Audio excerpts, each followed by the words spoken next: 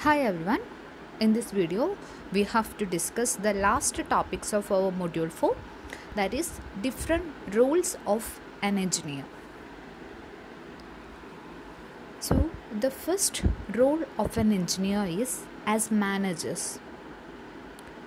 So, a manager has to do certain things that is, they have certain functions like they have to communicate properly to his team they have to instruct his subordinate to move away from unethical issues. They have to establish ethical principles through their actions and words. They have to find proper solutions for issues and problems. So these are the main functions or main responsibilities of an engineer. By considering these responsibilities we can see that engineers also have same responsibilities or duties. So if an engineer has to be a good manager or a successful manager they need certain qualities. So let's see what are the qualities that required for an engineer to become a successful manager.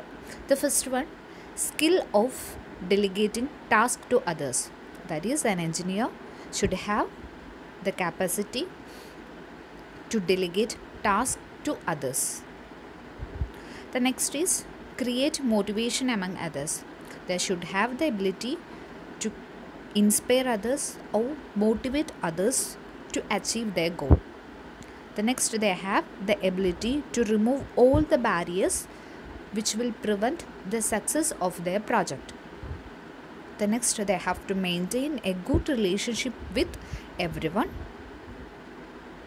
they should have the ability to concentrate on customers then they have to seek advice from others when it needed then they have they have to avoid partiality so all these are the qualities of an engineer to become a successful manager അതായത് ഒരു മാനേജറിന് എന്തൊക്കെ ഡ്യൂട്ടീസാണ് ഉള്ളത് ആ ഡ്യൂട്ടീസും റെസ്പോൺസിബിലിറ്റീസും നമുക്ക് ആയിക്കും ഉണ്ട് എന്ന് പറയാം. എൻജിനീയേഴ്സിനും ഉണ്ട് എന്ന് പറയാം സോ മാനേജേഴ്സിന്റെ ഡ്യൂട്ടീസ് അല്ലെ ഫങ്ഷൻസ് എന്തൊക്കെയാണെന്നുള്ളത് നമ്മളിപ്പോൾ ഡിസ്കസ് ചെയ്തിട്ടുള്ളത്. They have to communicate properly to the team they have to instruct the subordinate to move away from unethical issues. They have to establish ethical principles through their words and actions. They have to find proper solutions for problems etc so all these duties and responsibilities are applicable for engineers also എൻജിനീയേഴ്സിനും ഈ ഡ്യൂട്ടീസും റെസ്പോൺസിബിലിറ്റീസും ഒക്കെ applicable ആണ്. അതുകൊണ്ട് തന്നെ നമുക്ക് എന്ത് പറയാം? Engineers എന്ന് പറയുന്നത് അല്ലെങ്കിൽ ഒരു മാനേജറിന്റെ റോൾ കൂടെ ആയിരിക്കുന്നുണ്ടെന്ന് പറയാം. എൻജിനീയേഴ്സിനുണ്ട് എന്ന് പറയാം. The next role of an engineer is consulting engineers. So, consulting engineers are those who work independently for different employers. അപ്പോൾ ഡിഫറെന്റ് ആയിട്ടുള്ള ഓർഗനൈസേഷനും എംപ്ലോയേഴ്സിനും വേണ്ടി ഇൻഡിപെൻഡന്റ് ആയിട്ട് വർക്ക് ചെയ്യുന്ന എൻജിനീയേഴ്സിനെ നമുക്ക് എന്ത് പറയാം? കൺസൾട്ടിങ് എൻജിനീയേഴ്സിന് വേണ്ടി കൺസിഡർ ചെയ്യാം. So they do not have regular salary ഇവർക്കൊരു റെഗുലർ സാലറി ഉണ്ടാവണമെന്നില്ല. They will get money or salary for their work അല്ലെ? അവരുടെ ഒരു വർക്കിന്റെ ബേസിസിലായിരിക്കും അവർക്ക് എന്ത് എന്ത് കിട്ടുന്നുണ്ടാവുക? സാലറി അല്ല? Money കിട്ടുന്നുണ്ടാവുക. That is they will get money on the basis of the choosing project എങ്ങനെ അവർ പ്രോജക്റ്റ് ചൂസ് ചെയ്യുന്നതിന്റെ ബേസിസിലായിരിക്കും അവർക്ക് ചിലപ്പോൾ money കിട്ടുന്നുണ്ടാവുക.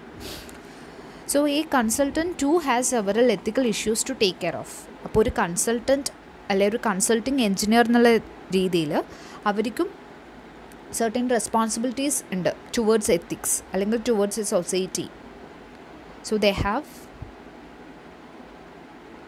the response they have the responsibility about safety of the project they have to keep the confidentiality of the institution or organization they have to refuse use of advertisement and self promotion അപ്പോൾ ഒരു consulting engineer എന്നുള്ള രീതിയിൽ നോക്കിക്കഴിഞ്ഞാൽ അവർക്ക് ഉണ്ടാവുന്ന അല്ലെങ്കിൽ ethical issues എന്തൊക്കെയാണ് അല്ലെങ്കിൽ എന്തൊക്കെ എത്തിക്കൽ ഇഷ്യൂസിനെ അവർ കൺസിഡർ ചെയ്യേണ്ടതുണ്ട് എന്നുള്ളതാണ് നമ്മൾ നെക്സ്റ്റ് പറയുന്നത്. So the first of all they have the responsibility about safety of the project അപ്പോൾ ഒരു ഫസ്റ്റ് അല്ലെ പ്രൈം കൺസേൺ എന്ന് പറയുന്നത് ഒരു ആസ് എൻ എഞ്ചിനീയർ ഒരു കൺസൾട്ടിങ് എഞ്ചിനീയർ പ്രൈം കൺസേൺ എന്ന് പറയുന്നത് എന്തായിരിക്കണം? Safety of human being safety of environment safety of society അതായത് ഹ്യൂമൻ ബീയിങ്ങിന്റെ അല്ലെങ്കിൽ എൻവിറോൺമെന്റിന്റെ ഒരു സൊസൈറ്റിയുടെ സേഫ്റ്റി ആയിരിക്കണം അവരുടെ പ്രൈം കൺസേൺ എന്ന് പറയുന്നത്. So they have the responsibility about safety of the project or safety of the people അതിന്റെ സേഫ്റ്റി എന്ന് പറയുന്നതായിരിക്കണം അവരുടെ പ്രൈം കൺസേൺ എന്ന് പറയുന്നത്.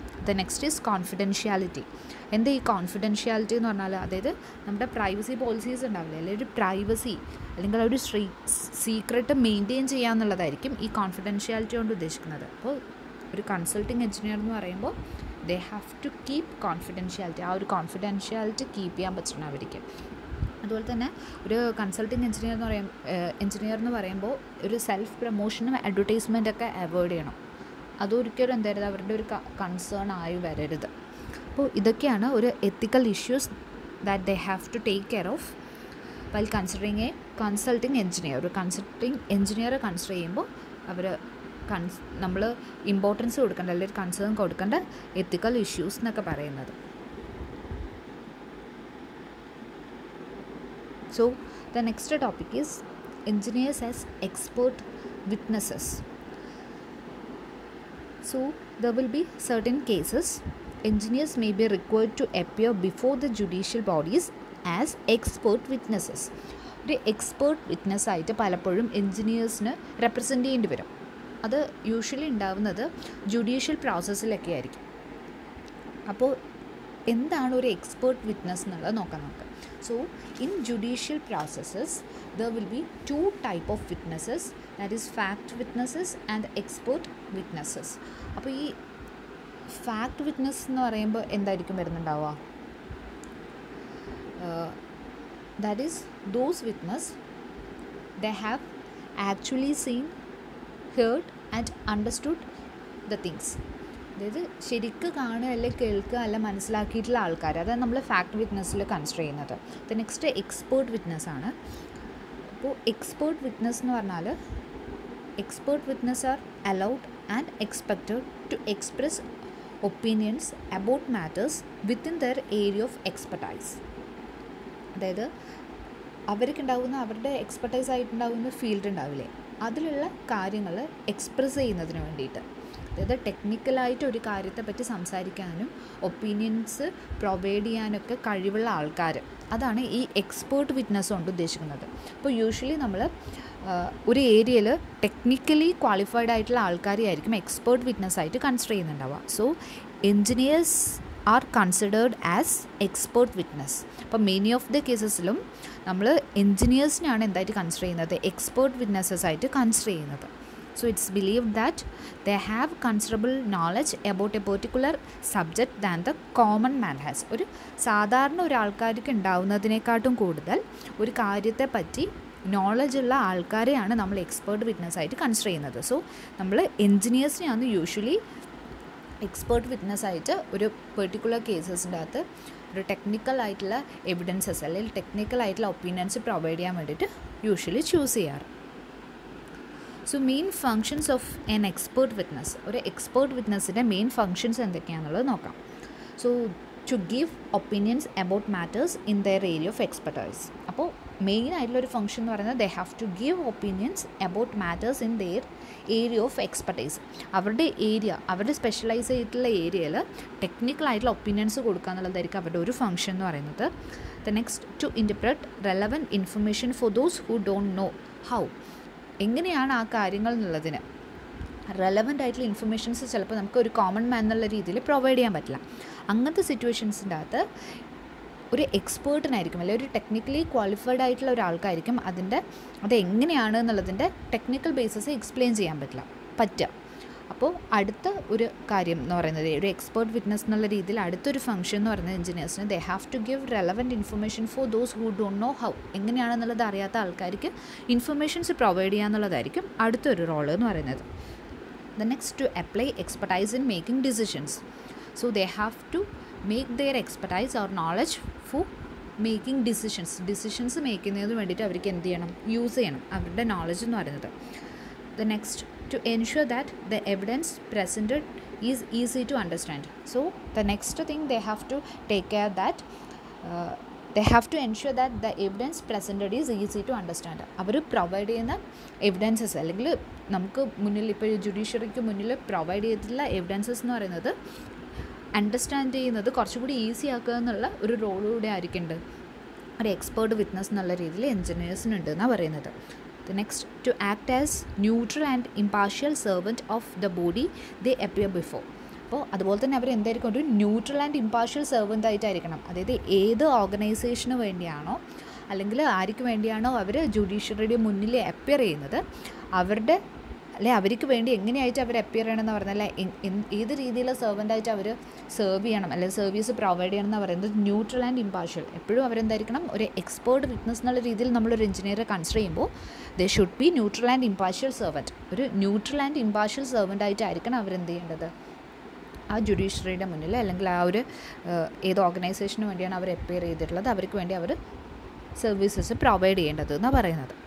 So all these are about engineers as expert witnesses. The next topic, that is our last topic, that is engineers as advisors. So, many of the cases we are considering engineers as our advisors. That is, engineers may be called upon as advisors on the matters related to technology, development etcetera അപ്പോൾ technological ആയിട്ടുള്ള കേസസിൽ അല്ലെ ഒരു development കേസസിൽ നമ്മൾ usually എന്തായിരിക്കും? Advices തേടുക എന്ന് പറയുന്നത് അല്ലെങ്കിൽ അഡ്വൈസസ് എടുക്കുക ആരുന്നായിരിക്കും എഞ്ചിനീയേഴ്സിന്റെ അകത്തുനിന്നായിരിക്കും so they may be called by government semi government local bodies private firms companies and also by individuals for advice അപ്പോൾ ആരൊക്കെയായിരിക്കും ഇവരെ ഇങ്ങനത്തെ അഡ്വൈസേഴ്സിന് വേണ്ടി കൺസിഡർ ചെയ്യുന്നത്? ഗവൺമെന്റ്സ് ആവാം അല്ലെങ്കിൽ ഗവൺമെന്റ് ഓർഗനൈസേഷൻസ് ആവാം ഇൻസ്റ്റിറ്റ്യൂഷൻസ് ആവാം അല്ലെങ്കിൽ സെമി ഗവൺമെന്റ് ഓർഗനൈസേഷൻസോ ഇൻസ്റ്റിറ്റ്യൂഷൻസോ ആവാം ലോക്കൽ ബോഡീസ് ആവാം private firms or companies also by individuals ഇൻഡിവിജ്വൽസും ആവാം. So why giving advice to others നമ്മൾ മറ്റുള്ളവർക്ക് അഡ്വൈസേഴ്സ് പ്രൊവൈഡ് ചെയ്യുമ്പോൾ we have a correct idea or knowledge regarding that thing അതിനെപ്പറ്റി നമുക്കൊരു കറക്റ്റായിട്ടുള്ള ഐഡിയയും നോളജും ഉണ്ടാവണം. Then only we have to give advices അതിന് ശേഷം മാത്രമേ നമ്മൾ എന്ത് പ്രൊവൈഡ് ചെയ്യാൻ പാടുള്ളൂ? അഡ്വൈസസ് പ്രൊവൈഡ് ചെയ്യാൻ പാടുള്ളൂ.